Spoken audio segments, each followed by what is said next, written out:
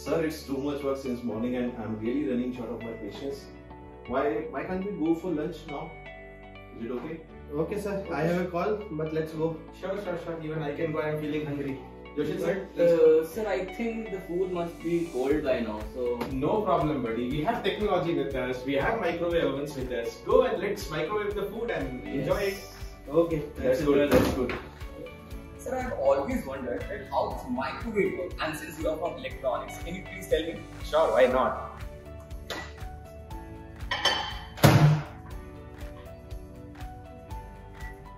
But do you really know the discovery of this microwave oven is a big coincidence?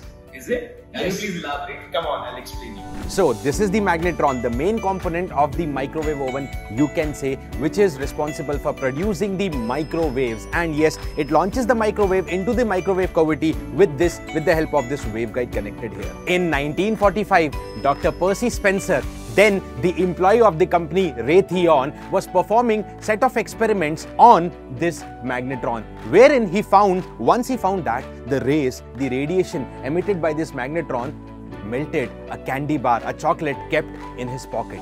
This was surprising for him. But then he thought whether this rays, whether this radiation can actually cook the food. The first intentionally tried food was popcorn. Yes, he took some popcorn seeds, placed nearby to the magnetron radiation and they popped up. Yes, the popcorn was cooked. Next he tried with eggs and then he got the idea ki can we make it as a commercial and a resi- residential model. He started working on the project that how to actually convert it into a usable model. In 1947, Radarange, the first commercial microwave oven which weighs around 340 kgs and 1.8 meter tall was invented. Somewhere in 1916, the microwave ovens for residential use also started developing. Now, there are several points to note which I'm going to address in this particular video. Yes, the radiation emitted by the magnetron has to be reused several times and they have to be trapped within the resonance cavity, that is the microwave cavity, how it is achieved. What is the concept of standing waves and what is this resonance cavity, how it is achieved. What are the different components of the microwave oven other than this magnetron? Let's see those also. Now, why only microwaves? Can we use any other electromagnetic waves or short of shorter frequency for the same purpose for the heating of the food or the cooking of the food? Let's find an answer to that also. And also the electromagnetic radiation which is emitted inside the microwave. Is it harmful to the human body, the humans which are standing outside the body? Is it hazardous to the human health? If not, how it is prevented? Let's find the answer of all of this in this interesting video. Stay tuned with me till the end of the video. So this is basically the magnetron connected uh, in this microwave oven and this magnetron needs a very high supply voltage of somewhere around 3 to 4000 volts and hence we use a step up high voltage transformer to provide the supply to this magnetron. And when I take you towards the internal this is the supply point. The magnetron that we have seen earlier yes this waveguide and antenna is going to emit the electromagnetic energy inside this cavity. Now to know more about this cavity why this is stainless steel why we need conductors let's come and learn some concepts on the smart board.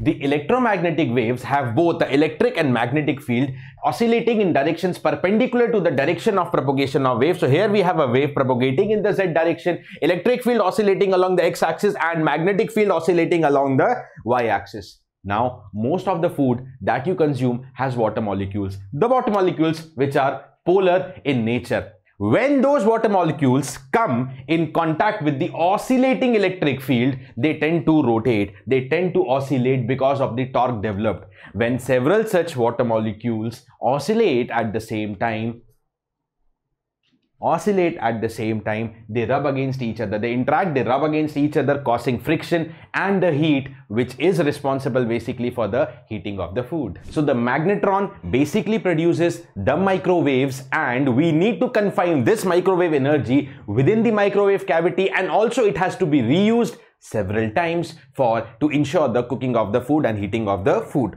To achieve this, first of all, a metal sheet, a conducting sheet has been placed on the other side, which is very commonly stainless steel in most of the microwave ovens these days. Yes, stainless steel because it is a good conductor. And what is one of the important property of the good conductor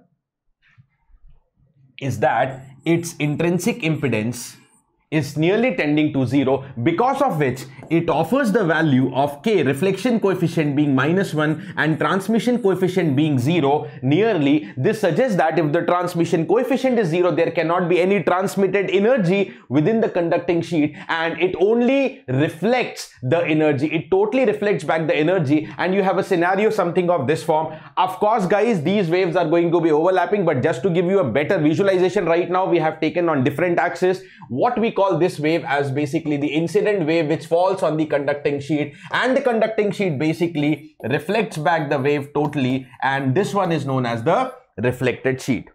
But we need to reuse and reuse this microwave energy to ensure the cooking and heating of the food. And that is why there will be one more metal sheet conducting sheet placed on the other side that is towards the source side something in this form. But as soon as you play um, place a metal sheet on the other side this metal sheet also reflects back the reflected energy once again. I mean to say now this is like the incident energy for the second metal sheet and it again produces one more reflected wave. Yes, we are going to see when this incident reflected energy combines what is the resultant wave. We will see that with equations also. But right now, this is the scenario that is developing. That means I can say there are multiple waves, okay, suffering multiple reflections at both the ends, right, at both the reflecting sheets. There are multiple waves that can be propagating within the cavity. To make it to make it look simple and to make it into an actual standing wave, there has to be a smart design. Let's understand that. Okay. So as you are able to see, there will be multiple overlapping waves that can be traveling within the two conducting, two parallel conducting sheets. What is done is have a look into this picture. What do you, how do you actually see a reflected wave? Now let's suppose this is the incident wave stopped at a particular moment. How do you draw a wave which is reflected corresponding to it? So what you can do is guys, just, just just for a moment forget that there isn't any reflection. This wave has to propagate forward. So if it were traveling forward what would be the shape? Just i'll continue its shape. Now the reflected wave is just the mirror image of this right side portion assuming that the metal sheet this is where the metal sheet is placed assuming that the metal sheet is acting as a mirror. So now let me draw its mirror image. And when i draw its mirror image just a moment. When i draw its mirror image it is nearly going to be something like this. Okay. Now, a smart and intelligent design suggests that where to place that second metal sheet which is towards the source, source side. Have a look into this. Have a look into this particular diagram. So, if I place this particular, if I pick this particular point which is a distance of lambda by 2, yes, this distance, the distance from the distance between repetition it is the wavelength of the wave. So this is one entire wavelength. So if i place the sheet at this particular distance guys see with this approximately if this is the distance lambda by 2 where i place the second sheet we know that the second sheet is going to create a reflected wave again. And what is going to be that reflected wave? It is going to be the reflected version of this blue wave of this dark blue wave right? Now guys try to create its reflection Again, I told you what is the method of reflection. The wave which is on the left side of the second sheet, take a mirror image. So when you take the mirror image, when you take guys, the mirror image of this portion, see very carefully with me. So when I take the mirror image of this particular portion, how it is going to appear on the other side, it is just going to overlap with the first incident wave.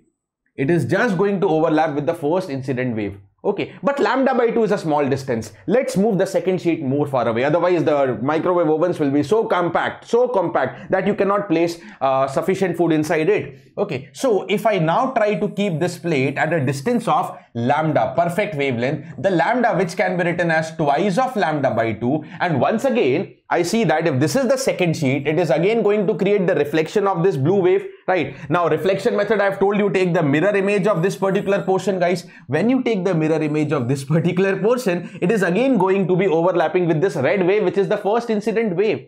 So, this clearly, and you can try this repeatedly, this clearly gives a message that if you keep the second sheet at a distance of integral multiple of lambda by 2, at a distance of integral multiple of lambda by 2 you are going to actually visualize you are going to actually see only two waves the first incident wave and the first reflected wave. Rest the waves. Yes there is still multiple reflected waves but they are all overlapped with these two waves. And eventually eventually guys you have a picture something of this kind you have a picture which sees like there is only one incident wave that is reflected by this conducting sheet. And there will be a second conducting sheet here which is going to reflect back again. But you are going to visualize only two waves. If you take this particular distance if you choose this particular distance as integral multiple of lambda by 2 now most of the microwave ovens guys you must know that it's a simple fact that they operate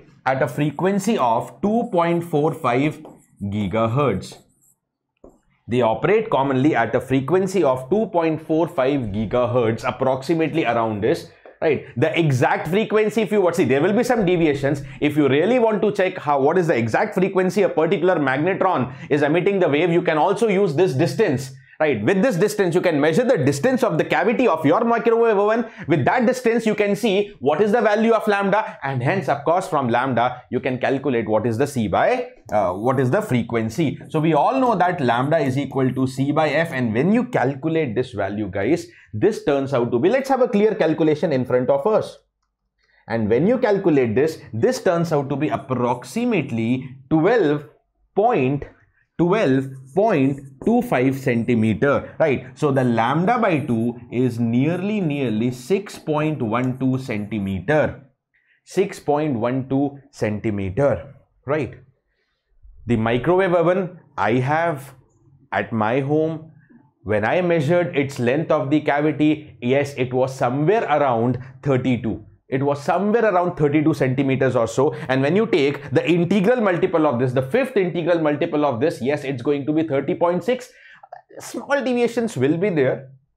Small deviations will be there. Small measurement errors can also be there. But yes Yes, the length is integral multiple of lambda by 2. Now that is what I told you. If you want to exactly measure what frequency of wave magnetron is emitting, that may not be perfect 2.45. So what you can go, you can go with the reverse phenomena. Measure this length n lambda by 2 measure the length of n lambda by 2 yeah first measure the length of the cavity. Compare it with n lambda by 2 you get the lambda. That lambda will give you the frequency which is going to be within a small range of 2.45 gigahertz. Now moving forward if there are two traveling wave one in the forward direction one in the backward direction what is the resultant wave? Let's have a look into that. Okay so this is what is a forward traveling wave where i have just assumed that this particular axis the right side, the forward axis is the z axis. So we have a forward traveling wave in the z direction which is commonly written by the equation E naught cos omega t minus beta z where I'm assuming that electric field is oriented, is oscillating in the x direction. Okay, as we have seen in the earlier picture as well. The reflected wave equation is uh, minus E naught cos omega t plus beta z minus E naught because the value of the reflection coefficient was equal to the minus 1 and the reflection coefficient basically we know that it is the ratio of the amplitude of reflected electric field to the incident electric field. Now, now when these two waves superimpose, when these two waves superimpose, what is the resulted wave? There is a small mathematics. We can add both the electric fields in the vector form and after adding calculations you can do up to yourself. Let's focus on concept in this video. You get an equation of the form 2 E naught sine omega t sine beta z and when you sketch this, very interesting, when you sketch this for different values of time right? Maybe t equal to 0 t equal to a t equal to t by 4 taking small small steps of time. You can try it up. It's a small mathematics. But when you sketch it for different values of time you actually obtain a wave which is traveling neither to the right. Right traveling wave is given by omega t minus beta z which is neither traveling to the left. Omega t plus beta z also you don't get. You get sine omega t separate function multiplied by sine beta z. So for different instants of time you only get a function sine beta z sine beta z with the amplitude just vary the amplitude vary, will vary as given by the sine theta value. The sine theta may be starting from 0, maximum it can go to 1. You get a wave which is neither traveling right, which is neither traveling left. It is just oscillating at its own position as a function of z.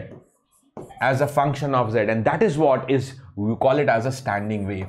That is what you actually call it as a standing wave right? By the superposition of these two right the incident the reflected we get this black wave which is basically the standing wave which is basically the standing wave which looks something like this in the microwave cavity. This is what using the concept of resonant cavity we confine the electromagnetic energy right and make it look like a standing wave oscillating at its own position within the microwave. Let me tell you one or two more important and interesting property of this standing wave. As we know that this standing wave has been formed by the superposition of incident and reflected wave. Incident and reflected wave at some positions of time, they are in phase with each other and at some positions of time, they are totally out of phase with each other. Right? If I stop this picture, if I stop this picture at a particular moment, there may be a picture where the red and blue where the red and blue superimpose on each other and when they totally superimpose on each other it's like 1 plus 1 equal to 2 they amplify the magnitude and you get you get the standing wave which is having amplitude double of this one. The maximum amplitude will also be if this is e naught and e naught you get here e naught plus e naught. But as the wave keeps on traveling there will be moments when they are totally out of phase with each other they are totally out of phase with each other. If it this is plus e naught this is the minus e naught. And the resultant of them and the resultant of them will be zero.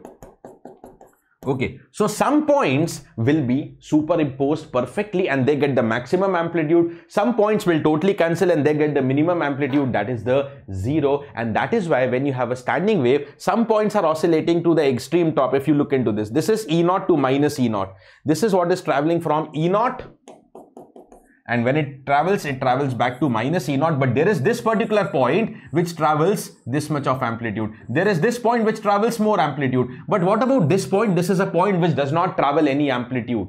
Does not travel any amplitude. So on a standing wave on a standing wave you have several nodes and you have several antinodes. Okay. These particular points which are not displaced at all these are known as the nodes of the standing wave these are known as what? These are all known as the nodes. Nodes in short, you can put it as the point of no displacement. Okay, of course, the spelling of displacement is DIS, but just to make you understand this, what nodes are, we call it as no displacement, the points of no displacement. And on the other hand, these points, the points which are oscillating with the maximum amplitude, the points which are oscillating with the maximum amplitude, they are the opposite of nodes and hence they are known as the antinodes. Hence these are known as the antinodes. Hence these are known as what? These are known as the antinodes. Even these one. At some point of time this will be plus E naught. At some point of time this will be minus E naught. So all these points which are traveling with the maximum amplitude, uh, which are oscillating with the maximum amplitude, they are the antinodes the distance between a node and antinode if you measure the distance between a node and antinode will be lambda by 4 the distance between any two nodes okay this is perfect one wavelength. So distance between any two nodes is lambda by 2 distance between any two antinodes yeah this is one. This is an antinode. Distance between any two consecutive antinodes is also lambda by 2 distance between any two consecutive nodes is lambda by now further, one problem identified by this method while uh, heating the food is that when you heat the feed by this standing wave, what do you see that there are several portions as I have marked here, there are several portions which do not get the sufficient microwave energy and when you take the food outside this microwave oven, you are going to see them as cold spots. Yes, there will be some hot spots which are heated properly. There are going to be some cold spots which are unheated, which are not heated properly. We call them as the cold spots we refer to them as the cold spots. But there was a simple solution to this problem as you might have noticed in all the microwaves that you use today. The plate that is attached at the base here is not a stationary plate that is actually rotating. It keeps on rotating so as to ensure that there are there are no or minimum cold spots and it ensures uniform heating of the food. And that is why we have a rotating plate. Yes a rotating plate inside the microwave oven now, there are two more important questions, important areas to be answered here. Yes, electromagnetic energy can heat food, microwave energy can heat food, but the question is, is it only the microwave range of frequency that can uh, heat the food or it could be even frequencies, even other electromagnetic frequencies but of lower frequency range. So guys, what basically happen, if you take a frequency which is lower, if you take waves of lower frequency, the lambda which is given by C by F correspondingly is larger. So what happens if you have a higher wavelength? There are two problems if you have a higher wavelength. Number one problem, if you have a higher wavelength, corresponding to it n lambda by 2. Now we have seen that the dimension of the resonant cavity should be nearly n lambda by 2. Higher the value of lambda, higher will be n lambda by 2 and you will get microwaves oven which are bulky, which are more in size. Number two problem, if higher is the value of lambda, okay, if higher is the value of lambda, higher is the spacing, higher is the spacing between these two points and that is why you have uh, the possibility of getting more cold spots. If you have a lower value of lambda, which is ensured by taking a higher frequency. That is why we commonly go to the microwave range. If you take a microwave range frequency very high, the wavelength is small and because of the small wavelength, the dimension of the microwave is also relatively small and also and also the wavelength these points okay these nodes because as i told you what is the distance between antinodes the distance between consecutive nodes or the distance between consecutive antinodes is also lambda by 2 lower the value of lambda lower will be the distance between correspondingly two antinodes and you ensure uniform heating of the food Second question that I'm trying to say that many people believe that standing near to microwave oven when it is functional may be uh, hazardous, right? Many people believe that uh, not to use microwave oven because it may be uh, harmful to the health. Let me tell you, the front of the microwave, the front of the microwave that you see commonly you see it as a glass, you see inside what is the food getting heat, food getting cooked, something like this. But this glass but this glass it's, it's not only glass but it is a sheet. Yes a mesh type of mesh type of conducting sheet which is attached here so as to ensure. Now again what happens if you uh, attach a conducting sheet here what happens again if you attach a conducting sheet here? The conductor is going to reflect back the wave and all the electromagnetic energy is confined within the cavity. It does not propagate outside the cavity of the microwave oven. And that is why it is safe to be used. Yes, so eventually the concepts that you have studied now you can relate that why we need the stainless steel because it's a good conductor, why we need conductors on both the sides, one is on the opposite side, one is towards the source side. This is the second conducting sheet I was talking about. This is the rotating uh, plate, why we need the rotating plate we have described about this. This is the door which also which is uh, made up of glass but it also in the inside contains a mesh type of conducting sheet so that the electromagnetic energy remains trapped inside the body, it does not Uh, is not emitted outside. And also uh, many of the food items say for example cake or pizzas they need to be crispy from outside and soft from inside. That is why the latest microwave ovens also come up with the functionality of convection heating. Yes look into these rods which are connected here.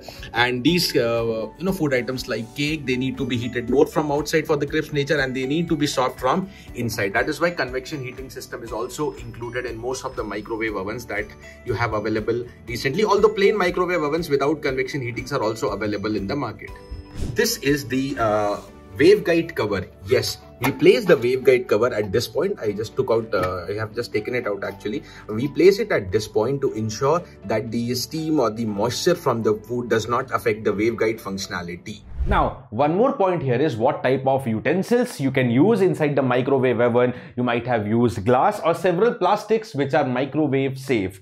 You never use steel, steel containers or steel utensils inside the microwave oven. The simple reason being uh, the glass and the plastics are dielectric materials, but steel on the other hand is a good conductor. When you place any food inside the steel, the tendency of steel or any metal body, you can't use any other metal as well, uh, like any aluminum containers or all, because the tendency of any metal container is to reflect back the energy. We have just learned they will reflect back the energy. They will not allow the energy to penetrate inside them and hence the food cannot be cooked. So yes guys, in this video I have covered up the brief details of the microwave oven, talking about its structure, talking about magnetron, talking about uh, the different components, how the electromagnetic energy is trapped within the microwave cavity, what is the standing waves and many of these concepts you also use in your gate preparation, especially standing waves, the node, anti-node, there are questions based on this. So we just try to make such interesting videos for you so as to ensure that you get enough motivation to prepare for your gate examinations, the things that you actually study in the books how they are implemented in the real life and microwave oven is one such device okay which you use in a very common uh, life also we have seen that how a small accident, a melting chocolate, has revolutionized this world by giving us the microwave oven. So guys, a small request from my side, if you have enjoyed the video, if you have liked the video, if you found it interesting, if you found it informative, do not forget to mention your comments in the comment box. Since this is recording, you're not interacting with me live, so I need to see your comments. So please, your genuine comments will be truly appreciated. And if you really like, do not forget to like the session. With this, Rakesh Talreja signing off. And if you want more such videos, that's what your comments will tell us how much you're interested. And if you really want more such videos, and definitely there are live sessions also going on on the channel, do not forget to subscribe the Byju's Exam Prep, GATE and ESE YouTube English channel for more such videos and more such content. Bye bye. Thank you. And stay safe.